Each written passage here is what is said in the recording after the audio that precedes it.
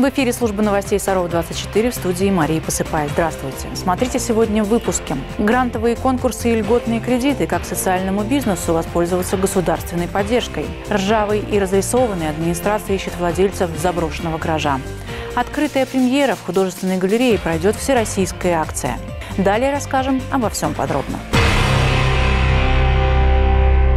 Строительство детской поликлиники в старом районе так и не началось. Напомним, еще в конце января городские власти признали, что на объекте есть определенные сложности.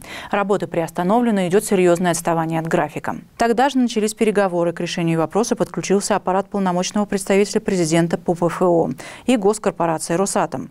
Депутат Госдумы Денис Москвин во время визита в Саров 5 февраля также побывал на объекте и заверил, что проблемой занимаются и на региональном, и на федеральном уровнях. Объект, повторюсь, э, крайне чувствительный, важнейший, и задача абсолютно всех э, органов э, уровней э, власти, и муниципальной, и региональной, и федеральной, сделать все возможное для того, чтобы он как можно скорее появился качественным, потому что ну, без этого объекта сложно себе представить улучшение медицины в городе Саров. И вот спустя полтора месяца в своем аккаунте в Инстаграме глава города Алексей Сафонов отметил, что никаких активных действий на строительной площадке так и не началось. По сообщению руководителя ФМБА, сейчас ведется активная работа по корректировке проектной документации.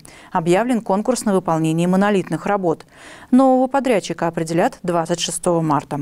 Напомним, год назад детская поликлиника переехала из здания на проспекте Мира на Октябрьский проспект в бывшие монастырские бани. Обещали, что это временное решение, к декабрю 2021 года в старом районе построят новое здание, отвечающее всем современным требованиям. Бесплатные обучающие программы, грантовые конкурсы, консультации, льготные кредиты. Эти и другие меры поддержки разработали специально для социального бизнеса в рамках нас проекта «Малое и среднее предпринимательство и поддержка индивидуальной предпринимательской инициативы». Чтобы воспользоваться этими услугами, нужно подтвердить статус социального предпринимателя. Как это сделать, расскажем далее. 161 предприниматель Нижегородской области получил в прошлом году статус социального. Из них всего 21 из Сарова. По словам директора Центра поддержки предпринимательства, на самом деле их больше. Просто не все знают, что их деятельность относится к социальной. Зачастую бизнесмены совмещают в своей работе несколько направлений. Для получения статуса социального предприятия нужно, чтобы доход от этого вида деятельности был не менее 50%. Это те предприниматели, которые трудоустраивают социально незащищенные слои населения. А, те предприниматели, которые предоставляют услуги или реализуют продукцию непосредственно для социально незащищенных слоев населения, те предприниматели, которые реализуют а, продукцию услуги, производимыми, производимые социально незащищенными слоями населения. И так называемая группа, которая а, несет пользу обществу, четвертое, это выполнение общественно полезных работ. В реестр МСП предпринимателей включают автоматически, а вот для получения статуса социального предпринимателя нужно будет самому собрать необходимые документы. Список можно посмотреть на сайте Центра инноваций социальной сферы Нижегородской области. По общим правилам областным да, документы необходимы предпринимателю самостоятельно оригинал документов предоставить в Нижний Новгород на рассмотрение комиссии. Но у нас есть определенная договоренность с нашим министерством. Никому в Нижний ехать не надо. Мы собираем пакет документов и направляем отправляем туда. Заявление для включения в реестр социальных предпринимателей нужно подать до 1 мая. В Центре поддержки предпринимателей готовы оказать всестороннюю помощь бизнесменам при оформлении необходимых документов. Официальный статус социального предпринимателя дает возможность бизнесу получать дополнительную государственную поддержку. Наша цель, чтобы максимально, чтобы саровские предприниматели, которые действительно являются социальными, а, смогли подтвердить свой статус. Что это дает? Да, на уровне региона рассматривается вопрос льготных ставок по упрощенной системе налогообложения для социальных предпринимателей, снижение ставок. Это очень хорошая мера поддержки. А, различного рода имущественная поддержка. Это по ми с минимальным платежом получения муниципального имущества. Подробнее о преимуществах, которые предоставляет статус социального предпринимателя, смотрите в рубрике «Без комментариев» на нашем канале в YouTube и в эфире телеканала «Саров-24». Елена Грицкова, Константин Островский, Александр Мальков. Служба новостей Саров 24. 18 марта с 9.00 до 10 часов в городе пройдет проверка системы оповещения. Будут включать электросирены. Граждан просят сохранять спокойствие. Другая важная информация в подборке коротких новостей.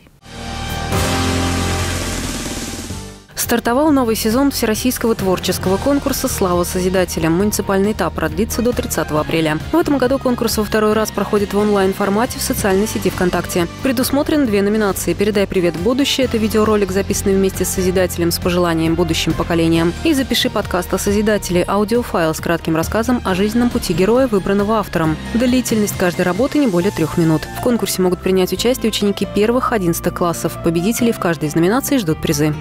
Театр представил репертуар на апрель. В афише для взрослых «Игра в любовь», «Русский медведь», «Игроки» и премьерный спектакль «Вечно живые». Детям покажут у Ковчега 8, пудинг на завтрак, том на обед и хрустальный букет. В Кузнечке в апреле можно посмотреть необыкновенное состязание «Мишкины шишки», «Гуси-лебеди» и «Большая мечта маленького ослика». Билеты можно купить онлайн на сайте театра или в кассе. Телефон 98383.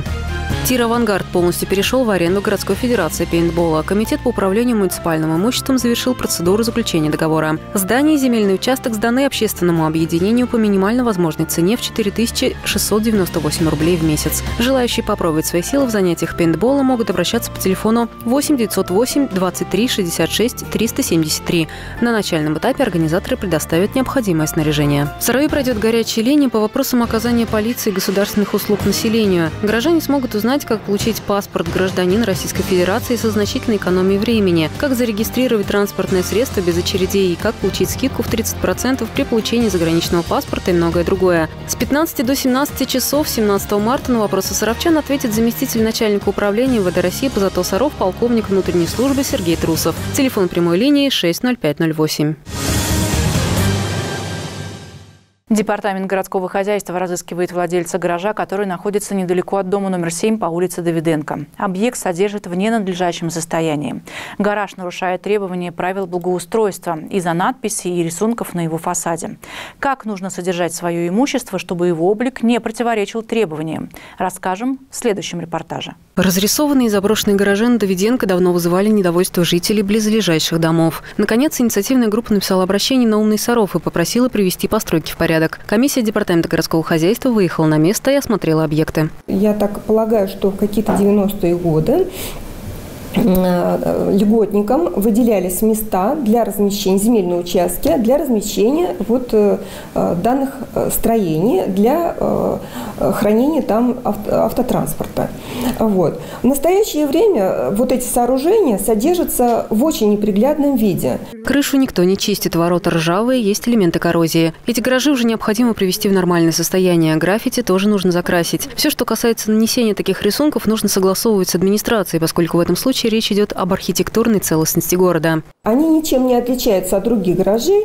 И если мы наблюдаем а, на других зданиях и строениях такие же надписи, мы также направляем предписание для устранения с указанием срока для устранения. Всего на территории три гаража. Владельцев двух гаражей нашли, третьего нет. Если владелец объявится, его попросят устранить нарушение. Если он этого не сделает, его привлекут к административной ответственности. Если собственника не найдут, гараж демонтируют. Екатерина Пенова, Константин Островский, Сергей Рябов, служба новостей Саров 24. Саров примет участие во всероссийской акции «Открытая премьера». Посмотреть фильмы 26-го открытого российского анимационного фестиваля можно будет с 17 по 20 марта в художественной галерее. Также можно будет проголосовать за понравившийся мультик. Голоса саровчан пойдут в общую копилку зрительского голосования, итоги которого подведут в Суздале на онлайн-церемонии закрытия фестиваля 23 марта.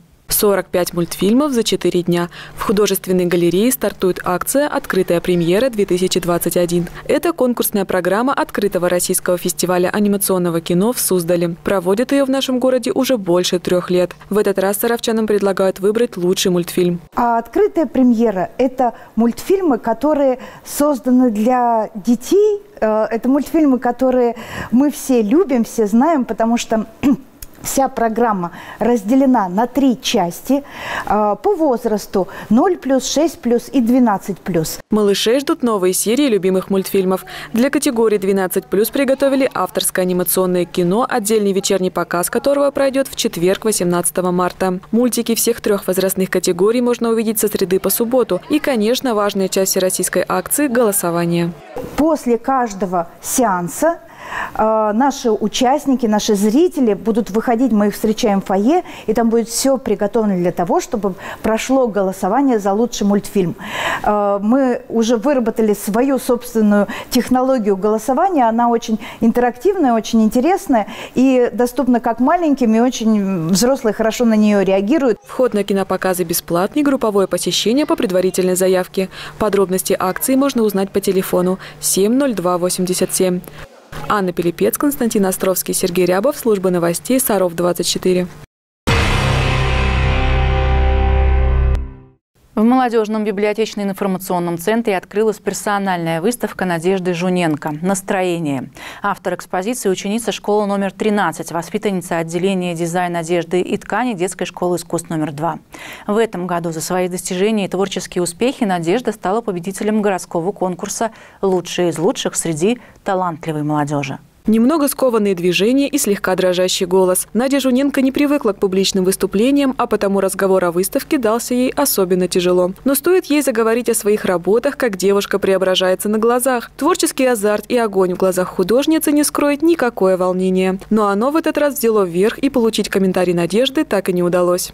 Все, что вы видите на этой выставке, в первых, конечно же, это в, в какой-то мере упражнение, потому что один час в неделю вариативный курс, когда мы рисуем на ткани. Ну вот Надя справилась с этим, сделала очень интересные работы, даже больше того, что нужно предполагалось по программе. И поэтому мы решили показать.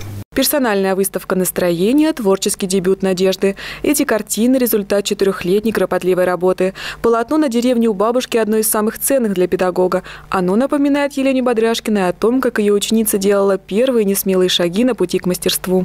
Это первые работы после того, как была масса э, упражнений, эскизов, э, были просто э, такие вот на ткани, ну, как бы пятна тканевые. В общем, короче говоря, мы с сначала упражнения делаем, а уже потом какая-то работа. Вот итоговая работа второго курса стала вот эта вот в деревне бабушки. Познакомиться с работами Надежды можно в молодежном библиотечно-информационном центре всем желающим. Выставка продлится до конца мая. Анна Пелепец, Константин Островский, Сергей Рябов, служба новостей Саров 24. Всего пара ложек меда в день укрепит ваш иммунитет и наполнит жизненной энергией. Впрочем, мед меду рознь. Полезен только натуральный, без химических усилителей вкуса и консервантов. Найти такой можно у настоящих пчеловодов, которые собирают мед на собственных пасеках. В Сарове натуральный мед свежего урожая представлен на ярмарке в Ледовом дворце. Мед со своей пасеки – это гарантия его высокого качества. Виктор Доценко – пчеловод в четвертом поколении. Многие годы они собирают мед на просторах страны и предлагают покупателям множество его сортов. У нас более 20 сортов меда.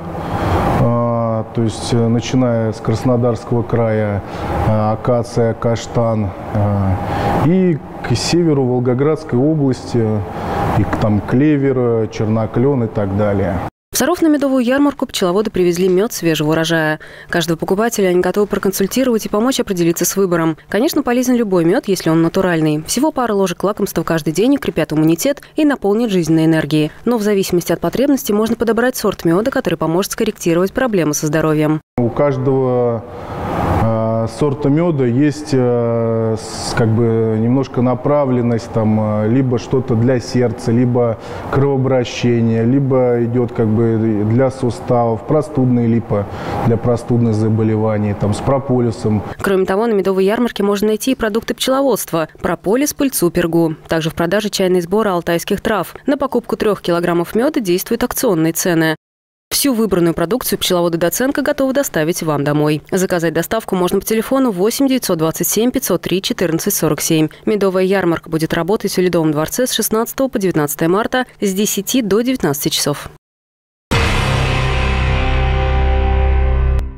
И это все, о чем мы успели рассказать сегодня. Следите за новостями города в группах канала 16 в социальных сетях ВКонтакте, Фейсбук и Одноклассники. Подписывайтесь на наш канал в YouTube и смотрите все информационные выпуски и авторские программы в удобное для вас время. В студии работала Мария Посыпаев. Всего вам доброго и хороших вам новостей.